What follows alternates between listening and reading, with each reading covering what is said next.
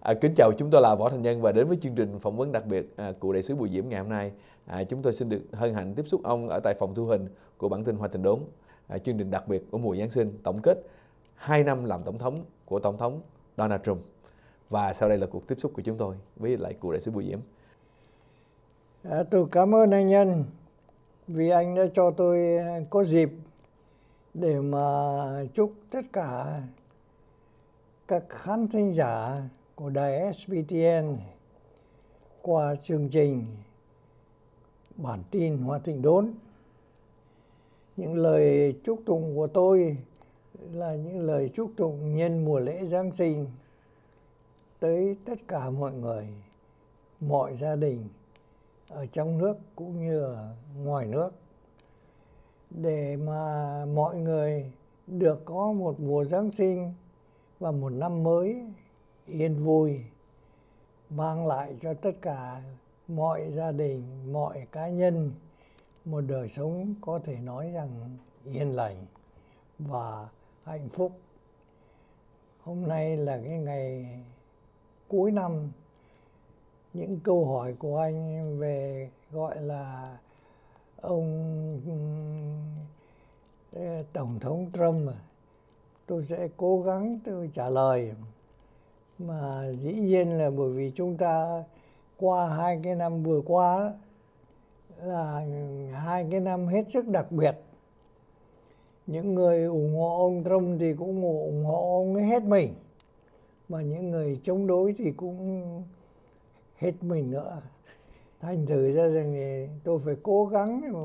tôi tìm lấy một cái nhận định khách quan nào để cho nó có thể nói mô tả một cách trung thực cái tình hình hiện nay của chúng ta đang sống ở Hoa Kỳ sau 2 năm dưới quyền của ông Tổng thống Donald Trump. Yeah. À, xin được cảm ơn ông. Yeah. À, kính thưa ông, khi mà chúng ta nói sau 2 năm như vậy đó, thì cái đất nước Hoa Kỳ à, dưới cái thời kỳ của Tổng thống Donald Trump thì như thế nào vậy theo cái nhận định của ông ạ? Thì thực sự để trả lời anh Nhân đó, thì như tôi vừa mới nói, nghĩa là hai năm vừa qua dưới thời ông Trump là hai năm hết sức đặc biệt. Là người ta có cảm tưởng như là lúc nào cũng là cái gọi là cái giai đoạn khủng hoảng cả. Thì thực sự ra từ khi mà ông ấy mới lên nhận chức làm tổng thống ấy, thì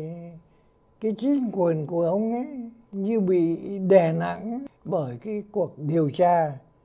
của ông công tố viên đặc biệt Mueller khi mà họ chú trọng đến cái những liên hệ của ông Trump trong thời kỳ được bầu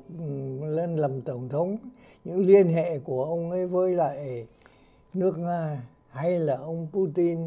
hay là giới thân cận của ông putin, thì cái bầu không khí đó nó đè nặng lên trên cái, gọi là cái chính quyền của ông Trump trong hai năm vừa qua. Thì nhưng mà chúng ta cũng phải nói rằng thì là do cái cư xử đặc biệt của ông Trump,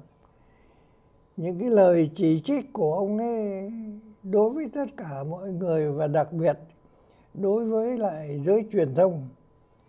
thì cái bầu không khí chính trị của Hoa Kỳ trong hai năm vừa qua ấy, có thể nói là một bầu không khí hết sức chia rẽ. Không những chia rẽ giữa người trong đảng dân chủ và những người trong đảng cộng hòa mà chia rẽ với tất cả những người hoặc là ủng hộ hoặc là chỉ trích ông Trump. Thì cái bầu không khí đặc biệt đó làm cho chúng ta phải tìm rằng thì là những cái yếu điểm nào của ông Trump trong hai năm vừa qua về vấn đề chính sách cũng như vấn đề xử lý với mọi việc. Và đồng thời chúng ta cũng phải kiếm những cái gì một cách khách khách quan, rằng thì là dù rằng có phải may nắm mắn hay là do lý do nào khác cái chính quyền của ông Trump trong hai năm vừa qua cũng mang lại được một số kết quả chứ không phải không. Thành thử ra để trả lời anh nhân về cái vấn đề đó qua cái thời gian hai năm vừa qua ấy, tôi sẽ cố gắng đi qua những cái vấn đề lớn mà nước Mỹ đã phải đối phó trong hai năm vừa qua để tìm hiểu xem cái nào mà ông Trump đã đạt được mục đích, hoặc rằng thì là đã là làm lợi được cho người dân và nước ừ, Hoa Kỳ, hay là ngược lại mà ông gây, đã gây một cái bầu không khí mà có thể nói rằng để không lấy gì làm, có thể nói thuận tiện cho cái sự thăng tiến của nước Hoa Kỳ. Như vậy thì ờ, cái nhìn của ông đại sứ như thế nào về vấn đề kinh tế của Hoa Kỳ à, khi mà ừ, kinh tế của Hoa Kỳ có những cái cuộc chiến tranh với lại Trung Cộng? Anh đặt cái vấn đề đó là lên trên các vấn đề khác mà chúng ta gọi là ưu tiên ấy, bởi vì thực sự ra ngoài vấn đề kinh tế còn những cái vấn đề gọi là như là trên lĩnh vực ngoại giao. Nhưng mà bao gồm trong cái vấn đề kinh tế thì chúng ta phải nhìn nhận rằng thì là do cái may mắn đưa lại cho ông Trump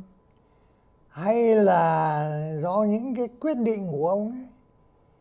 Thì cái tình hình kinh tế của Hoa Kỳ trong hai năm vừa qua cũng khá tốt đẹp. Từ cái mức tiêu chuẩn từ 3,2 về vấn đề phát triển mà có thể mà lên tới đến 3,6, 3,8 có một đôi khi lên 4,1 hay 4,2 thành ra có thể nói rằng thì là cái nền kinh tế của Hoa Kỳ trong hai năm vừa qua cũng khá vững vàng. Như tôi có nói rằng thì là cái điều đó có phải là do sự may mắn đưa lại cho ông Trump hay không? Thì chúng ta phải nói rằng ông ấy có được một cái gọi là ưu điểm là ông ấy chủ trương bớt thuế cho người dân Hoa Kỳ. Và vì vậy cho nên có một cái đạo luật gọi là đạo luật trừ thuế. Cái đạo luật trừ thuế đó ít hay nhiều cũng mang lại cho cái nền kinh tế của Hoa Kỳ những cái điều mà có đó thể, thể nói rằng thì là những điểm khá rõ rệt người ta cũng trông thấy.